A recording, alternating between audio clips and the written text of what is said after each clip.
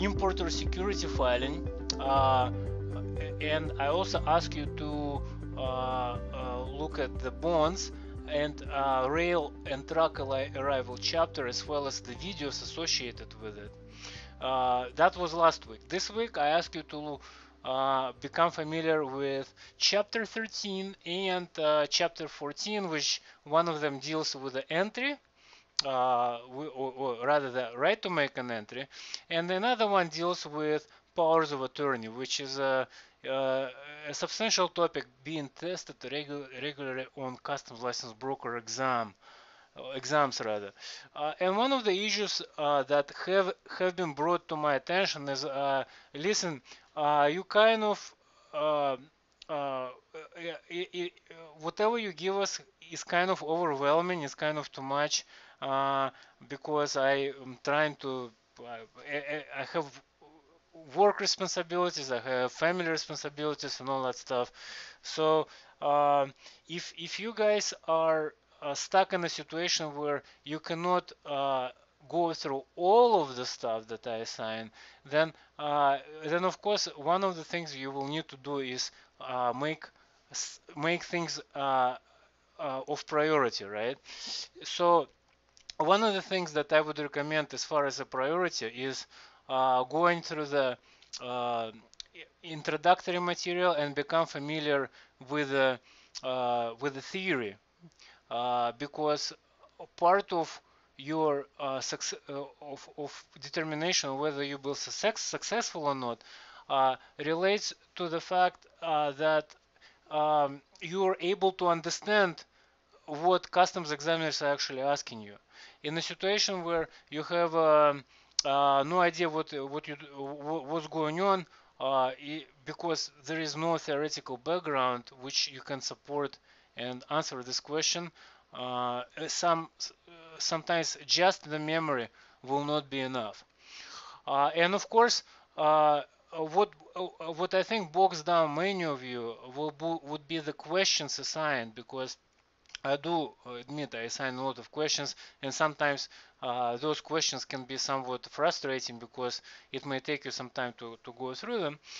And if that is the case, then uh, try to uh, find a balance by dedicating your attention to the uh, theoretical coverage uh, and uh, understanding of the chapters uh, that by watching videos, by looking at the text of the book, and then try to solidify your knowledge with the questions that are being um, that, that are being asked in the well at, at the end of the web supplement at the bottom uh, and also the questions that I assigned separately. Those uh, so far have been mostly classification questions, but there will also be CFR questions of the more recent uh, customs license broker exam as uh, we move further down.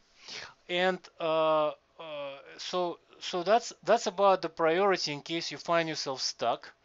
I also wanted to share with you my childhood hero. Uh, Alex Suvorov, uh, and uh, his phrase, which I think is relevant to the situation before us. So if what is difficult in training will become easy in a battle, I think is very relevant here because more time you spend on training and exercising, easier for you will be uh, uh, at, during the time of the customs license broker exam and vice versa. Less less time you spend uh, training, training yourself more difficult time you will have uh, at the customs license broker exam and therefore the, the, the, idea for you even taking this class is to have an easier time at the uh, customs during the exam itself. So uh, please uh, take a note of that uh, phrase by Alex Suvorov. And keep in mind more difficult you make it on yourself now up to, during the time leading up to the exam easier time you will have during the exam. We're going to be talking about the October 2020 AM broker exam. So I just uh, threw down the link at the chat window. And uh, the topic, uh, the, the, the, the point uh, of the first the first question of uh, of today, if you will, uh, is the one uh, that deals with um, handheld facial massager, uh, which has been asked on the AM exam question 47. All right, so let's see what we got.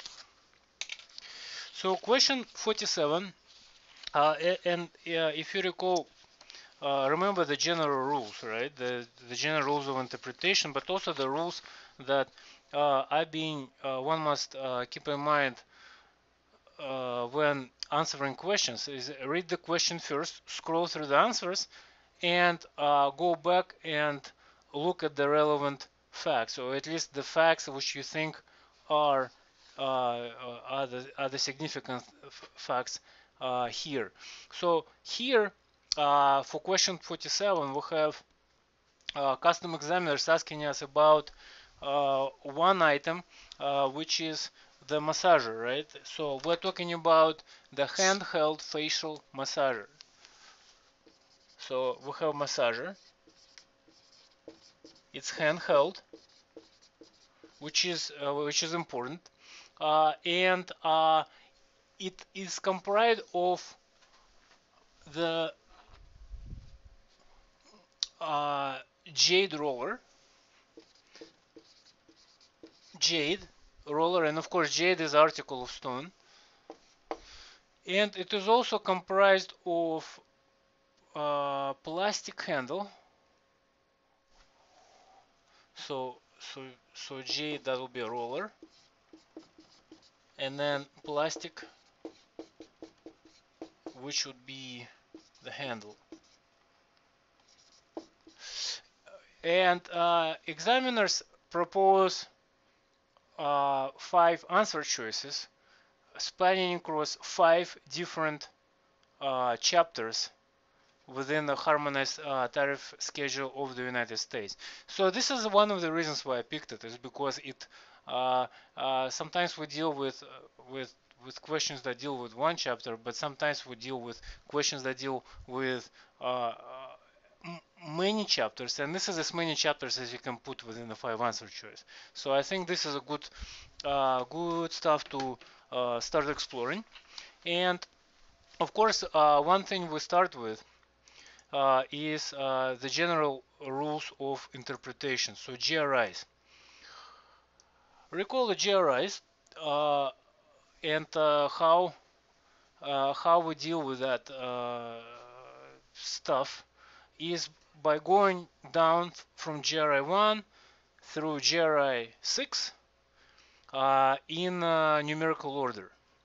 So in this in this in this particular uh, situation, we start with GRI 1, and of course, what's relevant for the GRI 1 uh, would be terms of the heading, section notes, and chapter notes. Those are the three important line items. And as a matter of uh, convenience uh, for the purposes of, uh, or rather, uh, as a matter of being the, the time-saving strategy, what we need to first focus on is the terms of the headings. So what kind of terms of the heading uh, do we have here? So uh, we have, if we go to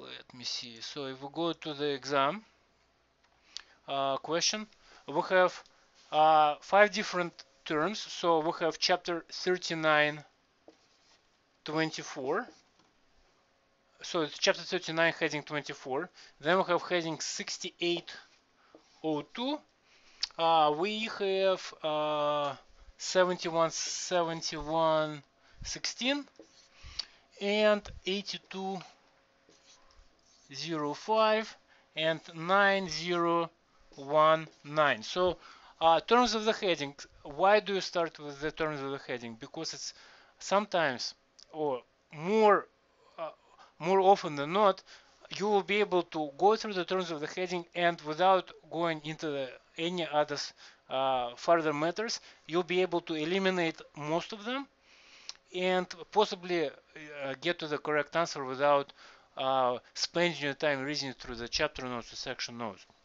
So we'll go over the terms of the heading first. All right, so what do we have for chapter 39?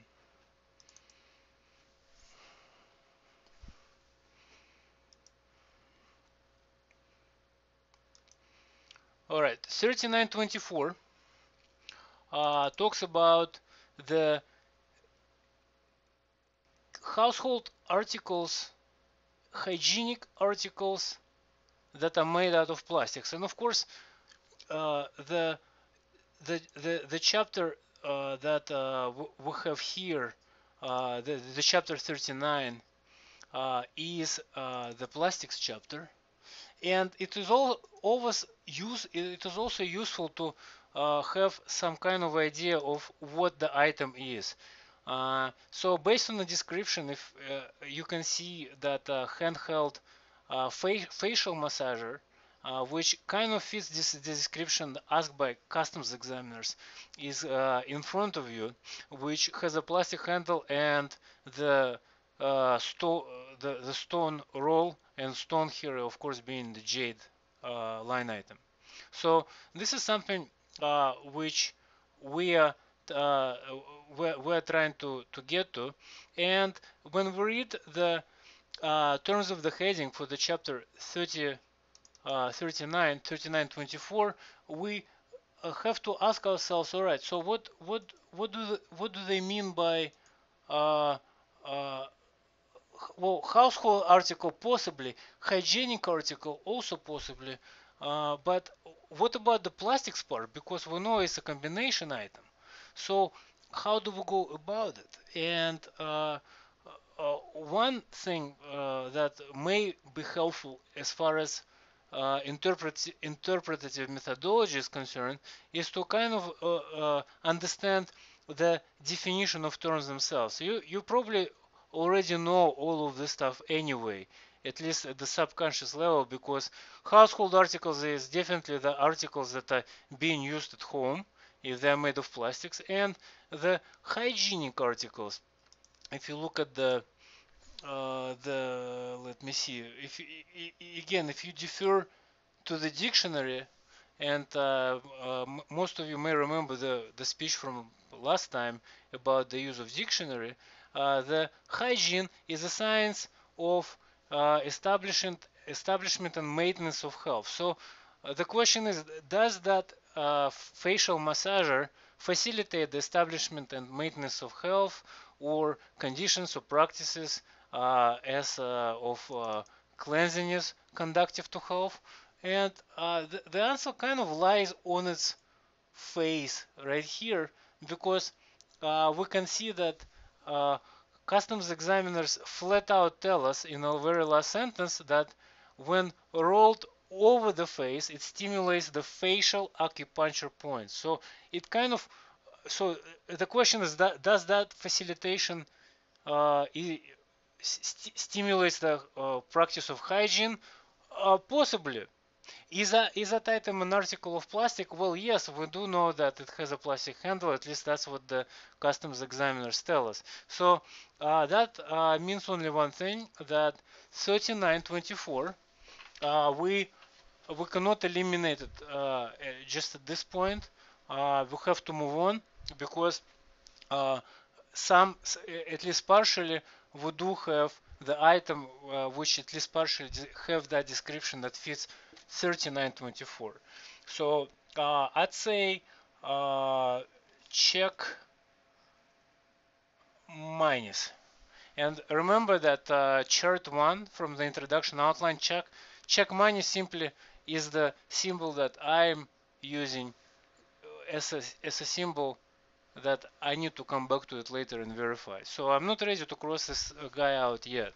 So let's go to the 62, uh, uh, 6802, which is the next on the list. And uh, customs examiners conveniently made it uh, in the increase, uh, in the nu numerical order increase. So what's going on with uh, uh, 60, uh, the heading 6802? All right, so the heading says the following. Uh, worked monumental stone, a monumental building stone, and articles thereof, mosaic cubes and the like, um, uh, whether or not on baking, artificially co covered granules, chippings and powder of natural stone. So uh, the the question here is whether, uh, and obviously we have an article, uh, the combination article. Uh, we do have uh, the piece which is a roller, which is made out of jade, and we do have a piece which is made out of plastic, which is a handle. So that, but uh, so obviously, if this refers to the stone, does it describe the type of stone that uh, we're concerned with in this fact pattern? All right, so uh, let's see. So worked monumental uh, building stone is for the building. So we have example like tile, for example, right? Or uh, the, the floor tile, the wall tile, uh, the roofing slate, for example, that would be the worked monumental building stone. So the adjective that describes the type of stone that we're looking for is not within the heading. Uh, uh, can it be a mosaic cube or, uh, or, and the like? No, this is not a mosaic cube. Uh, in fact, if we look at the uh, if we look at the, the, the, the description of the item, we have the ridged and grooved both horizontally and vertically in a grenade-like pattern oval shaped jade roller. So this is not something which describes as a mosaic uh, stone or a cube. So definitely uh, this is uh, this description so far within the heading does not match the results. Uh, the next one, the next uh, description talks about uh, artificially colored granules, chippings, and powder of natural stone, including slate. Well, customs examiners say nothing about artificial uh, uh, artificially co covered granules. They do talk about jade. Jade is uh, has a natural color of green or greenish uh, color in a way. So um, well, Katya says beauty tools. Well, uh, that's that's that's right. So, we, we, uh, Katya, you, you're absolutely correct. We did talk about the st stuff that are hygienic, right? Uh, and the stuff of the hygiene can uh, be can facilitate one's beauty, if you will. the stuff that are used in a household, because if you look at this item, if you look at this uh, particular, uh, and, and again, I can only guess, but I think uh, this guess is pretty accurate about the handheld facial massager, uh, I think this is not the stuff that is designed to be used in uh, the beauty shop or the beauty parlor. Uh, this is likely the stuff that is designed to be used to, at home, although I may be wrong. I may be wrong. So uh, uh, but but yes, you're absolutely absolutely right. Uh, uh, this is the reason why we, we not quite yet can exclude it from chapter 13 uh, from the heading 3924. All right, but 6802 definitely is not our guy because it talks about the more, more like uh, construction stuff, right? It talks about the monumental building stone which is used in the construction industry. So, uh, so this is something which uh, uh, we can take off the list based on the description of the terms of the heading. So uh, uh, we move on and we go to the heading 7116. So heading 7116, uh, let me see. All right, 7116. To, and this is this is the one which is kind of uh, uh, tricky in a way because it talks about the articles articles of uh, um, uh, natural uh, or cultural pearls. Well, we know it's not a pearl, but uh, it talks about precious or semi-precious stones, natural, synthetic, or reconstructed.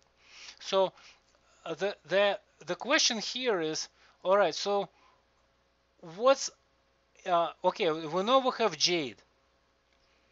Uh, is the jade precious or semi-precious stone? That's that's the key question. And uh, here is the problem. Remember, I told you that uh, uh, we start with the terms of the headings and then we move down to, to, to other line items depending of whether it is useful or not.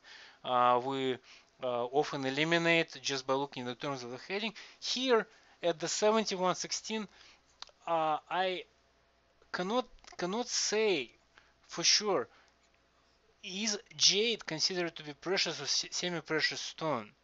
Because very often when you see that precious or semi-precious stone uh, uh, verbiage uh, you it often implies it, it is kind of like a terminal word uh, meaning that it has to be precisely set forth whether particular stone is precious or semi-precious uh, so uh, if if if you guys uh, wanna guess, uh, please uh, let me know whether you think this is the jade is considered to be precious or semi-precious stone. But since we're doing the classification, let me let me tell the, let me say, say this. So obviously, I cannot rule out that uh, this item is uh, precious or semi-precious stone. In order for me to uh, to go in and say, hey, uh, it's it's not the jade is not precious or semi-precious stone or uh, jade is precious or semi-precious I have to look further down and uh, so uh, here here comes uh, the kind of like a crucial point of the decision if I want to zero down uh, so jade is ornamental mineral I'm being told. So, but that's not that's not responsive to the question. Is it precious or semi-precious stone? Because if it is, it's it's it, it can be a check minus. If it's not, it's uh, uh, it's we can cross it out just like we did with uh, the 6802, which will, make our lives easier. So we're not doing a guesswork here. We're just merely trying to recognize uh, whether or not uh, we label it as a possible answer choice uh, under the GRIs, right, terms of the headings. We're still on GRI 1, terms of the heading. Or uh, we cross it out uh, as, as not.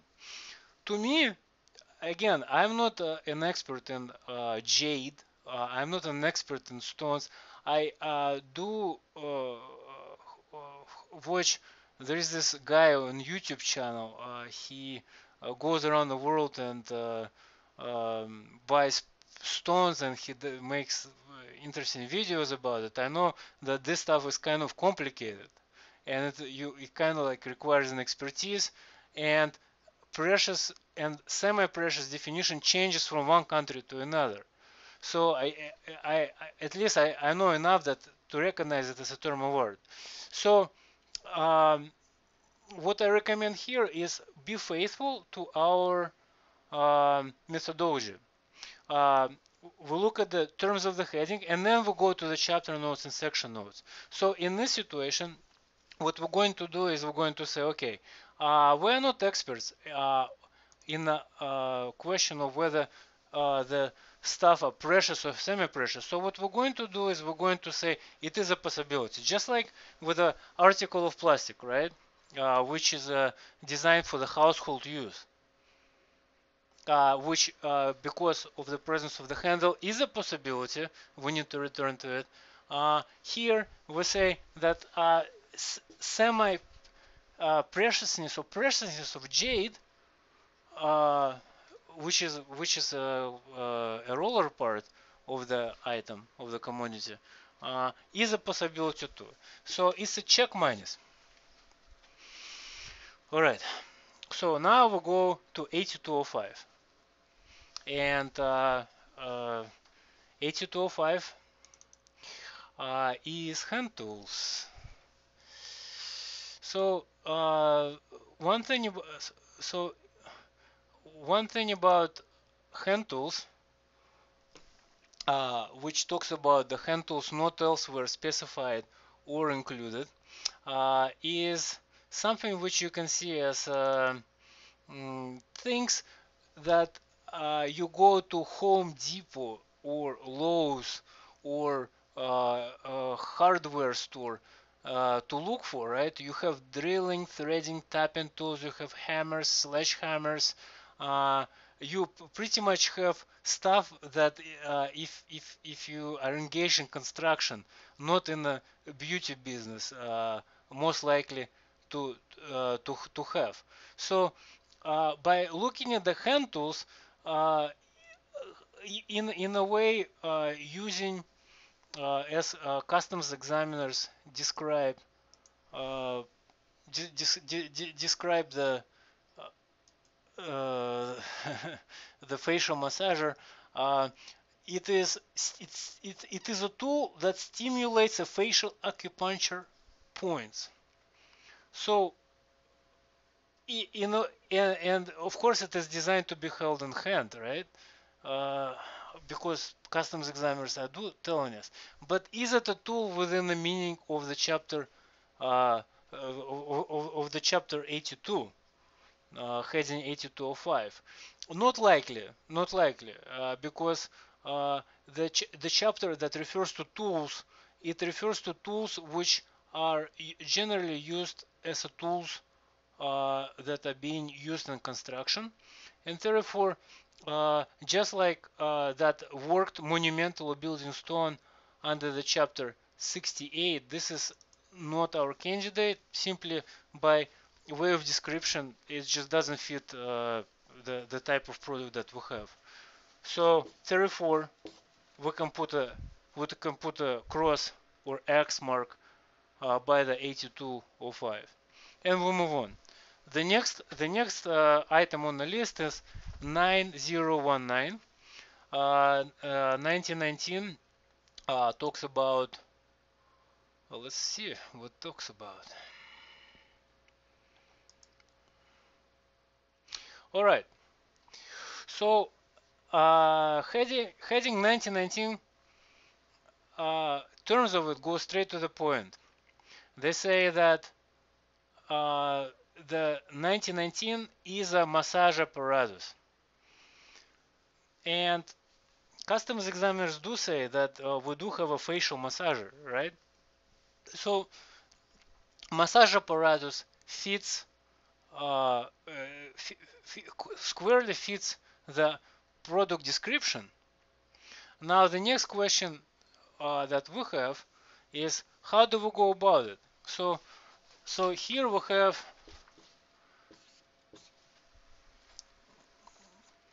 one item that describes it as a, as a, facial massager, another item which has a reference to the component of uh, the, the jade component, the stone component, possibly, right? We do not know that yet. And another item which uh, uh, has a reference to uh, the plastic component, the handle, uh, in 3924. So we have three candidates which we need to deal with at this point. How do we deal with those candidates, provided all things are being equal? Well, uh, we, uh, of course, would likely need to go and use uh, terms of the headings uh, and the uh, chapter, uh, well, terms of the heading were done, right? The chapter and section notes. However, however, what we also are able to observe in this situation uh, is the fact that the facial massager, massage apparatus has a reference to to the use. While the uh, the household article of plastic and the uh, precious and semi-precious stone head, terms of the heading, they refer to the make of the article. So here you have the classic dichotomy between use and make and uh, uh, you, you you you kind of have to figure out what what is going on what is going on here and uh, if those of you who, uh, who who were present or watched the last class that we had. You may recall the Orlando Foods case where there was a pro proposition or rather what the judge said a rule of thumb which says okay so we uh, HTS US is constructed in such a way where you do have a reference uh, to to the you, you to the commodity uh, and and it breaks down sometimes by the item which is uh, which is made out of certain thing and it refers to the item as, as far as how it is being used. And then the the judge in Orlando Foods case said provided that all other things being equal, the rule of thumb is that the use usually prevails over make.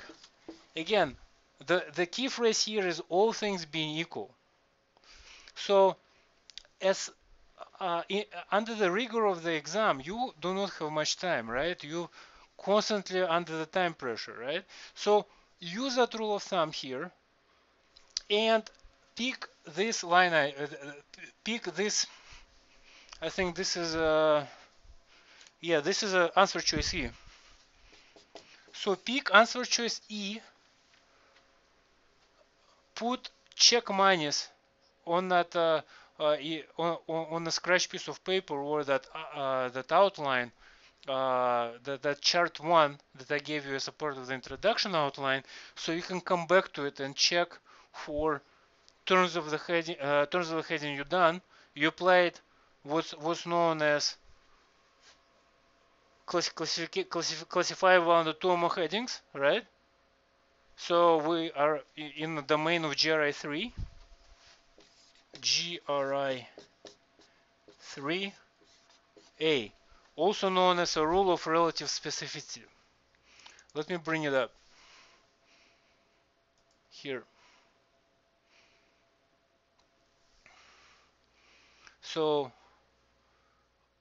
the, the, idea here is uh, to make a point that so uh, if the product such as a facial massager here is classifiable under TOMO headings, uh, you have to understand you, you have to choose the most specific description uh, to, to, more than a, uh, to, to the one which is more general. And uh, the reason that we discussed the Orlando Foods case is because uh, it gives us kind of like a guidance what's specific, what's general, how do you determine? And in, in this situation, we kind of like uh, made a conclusion that, hey, uh, what determines is the use over make. And in this situation, the use over make uh, refers to the chapter, uh, well, to chapter 90, to the heading 1919, uh, which refers to the mas uh, apparatus, which uh, kind of like straight on point. So that's general rule of interpretation 3a that we applied. But let's let's pretend that we went we went through the stuff and we completed all the questions uh, based uh, based based on the time provided we still have some time we, we kept to that three minute per average so we now uh, have some time we now have some time to double check our work so what we do is we come back uh, to this particular question and we are double checking whether in fact GRI 3a uh, is is uh, the one that did the work for us uh, or whether or not uh, this is something which is not not viable. So of course the starting point here would be to, to try to, to zero down on the definition of the precious or semi-precious stone. Uh, so, so the question uh, the question here, so uh, let's go to the chapter uh, 71. Uh, so the heading, uh, in order for us to establish whether this particular heading does refer to the sem uh, precious semi-precious stone, we go to the chapter notes. And the chapter notes at the very beginning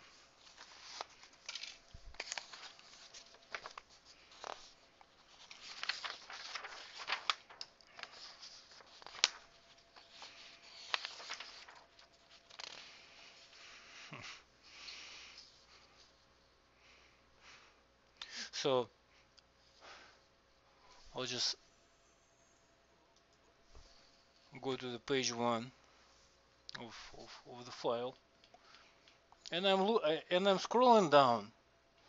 Uh, and it says okay this chapter does not cover articles of chapter 90 okay so that's useful.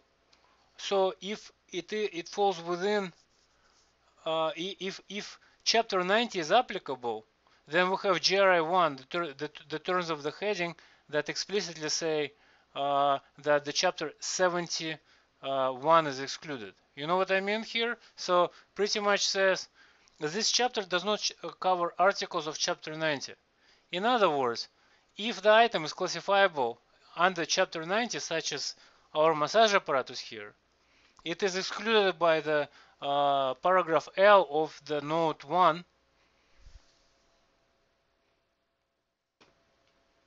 no node 3 I'm sorry. Node 3 uh, uh, so we don't even need to defer to the GRI3A here. So here we just can stick to the GRI1 uh, but uh, I think going through exercises such as this one uh, what we're doing is we're developing our general knowledge about the various commodities and how to read them so I still want, would like to insist on uh, us trying to develop some kind of methodology of figuring out uh, what what does it what, what's going on with precious or semi-precious stones right? Um, so if if we look through the uh, through the chapter itself uh, through the chapter notes uh, if we scroll down uh, we find one reference well we do note A notice note A it talks about the express it, it, it gives the definition for the uh, for those terms of art that I specified earlier. So precious metal includes three different metals. That's it. E very easy to remember. Silver, gold, and platinum. This is kind of like three line items. Easy. Easy stuff. Then you have What's platinum further down the line? Well, platinum means platinum, iridium, osmium, palladium, rhodium, and ruthenium. All right, so that's more difficult, but at least we have a precise, precise down-to-earth definition of precious metal. We can zero on. What about the precious and pre semi-precious stones? Well, here it's more tricky because they say, okay, the expression precious of semi-precious stone does not include the substances specified in Note 2b to Chapter 96. So if we go to Note 2b of Chapter 96, uh, we will find that we have, okay, Note 2b. Uh, we have the list of line items, amber,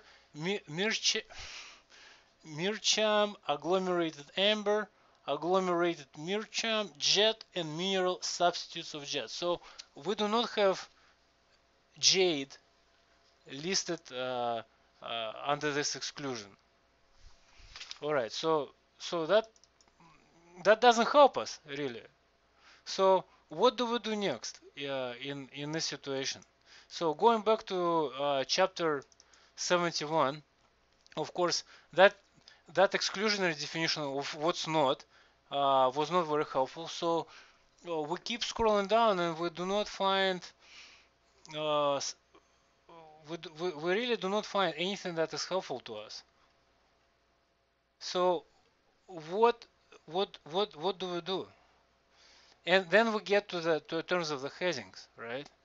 So in, in situations such as this one where you have, and remember, we just went over the section notes and we went over the chapter notes and neither of them were able to help us to zero down to say okay jade is the precious or semi-precious stone. So uh, so what what do we do next? Well one thing that we can do is looking at uh, going to the terms of the heading that provide the definition for precious or semi-precious stone within uh, within the heading terms. And in uh, in particular uh, since we're in chapter 71 uh, we have definition for precious stones and semi-precious stones listed uh, under that uh, 710391 provision, which talks about three different types of stones. They talk about rubies, sapphires, and emerald, emeralds. Uh, you also, if you look at the top of the heading for the precious stones, uh, it also lists diamonds. Diamonds are listed under the 7102 the heading uh, 7102 and the way it is written precious stones other than diamond implies by its is implies that diamond is a precious stone. But then again rubies sapphires emeralds diamonds uh, none of them list the uh, none of them are helpful with establishing whether the jade is within uh, the precious or semi-precious uh, stone definition. So what what do we do? what do we do?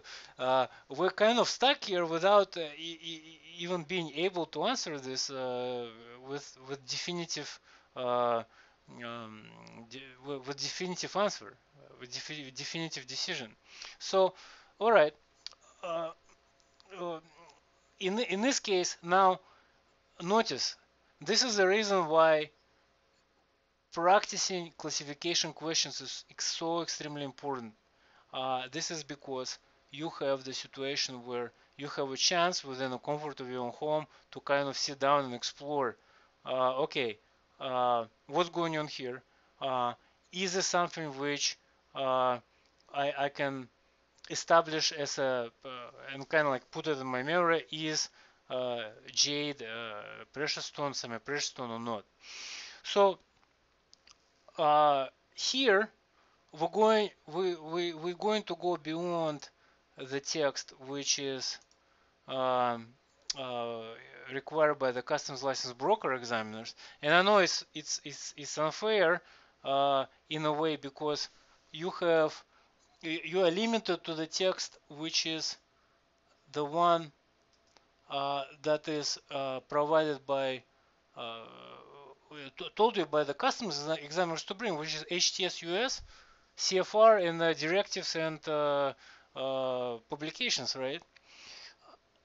So informed compliance publications is, is, also is something which is useful when you're out there in the real world because these informed compliance publications do present you with the real how should I say this, uh, with official CBP position,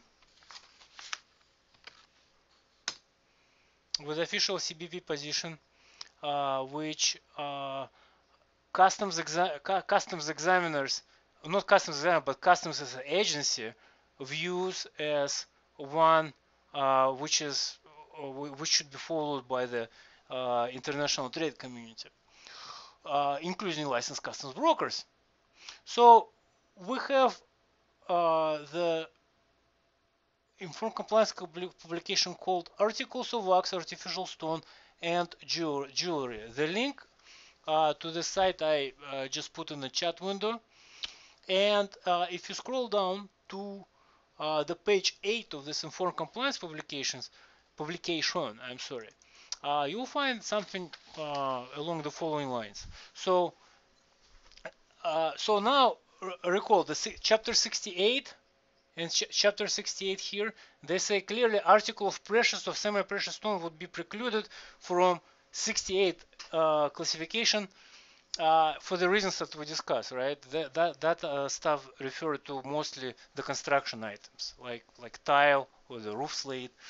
Uh, but what about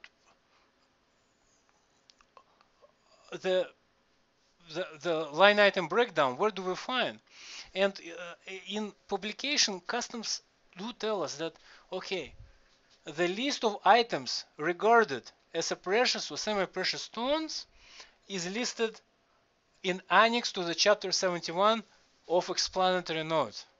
Recall uh, we did touch upon explanatory notes as, uh, when we talked about uh, the World Customs Organization, which is the body which publishes, responsible for publication of explanatory notes.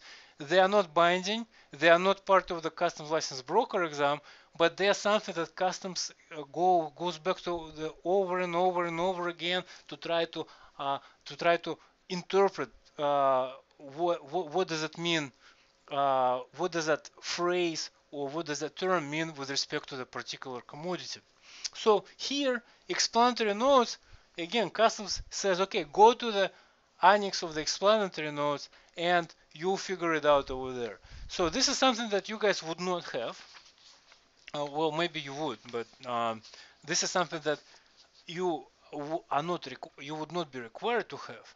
So uh, if if uh, we go to explain, I happen to have explanatory notes, and um, this is what it looks like.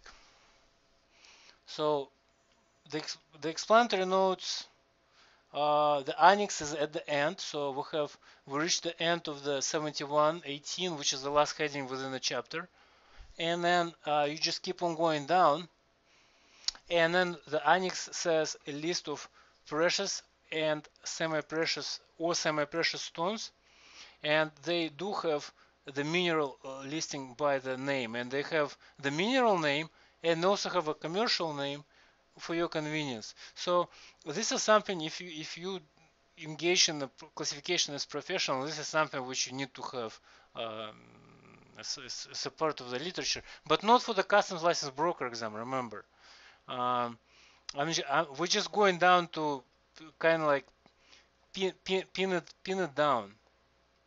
Uh, so we're looking for jade.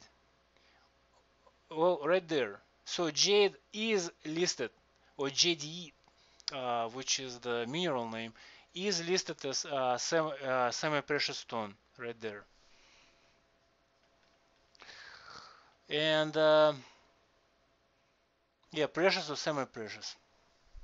So, so this is how you know that chapter 71, or specifically, uh, re recall we had a heading. Uh, if if we go back to our uh, heading 7116 uh, 7116 is the one that provides for precious or semi-precious stones so in other words whatever check mark we, we made over here was not a waste of time over here because just like the plastic handle refers to the articles of plastic under 3924 7116 refers to the semi-precious or, or, precious or semi-precious stone because jade is regarded as one. So now, give, given that we have that knowledge, right, we weren't provided that knowledge with with the tools that we had, right? So we had to go beyond that, right? But now we have that knowledge. Uh, we see that we were on the right path. Of course, during the customs license broker exam, I know it's unfair, but you wouldn't be able to check yourself that way, but you wouldn't need to. Because remember that uh, that note within the chapter 70 that says if it is classifiable under chapter 90, it is not part of the 71. And what about uh, the chapter 39? Let's take a look. So chapter 39, uh, which talks about, uh, well, chapter notes, right? Uh, it says that this chapter does not cover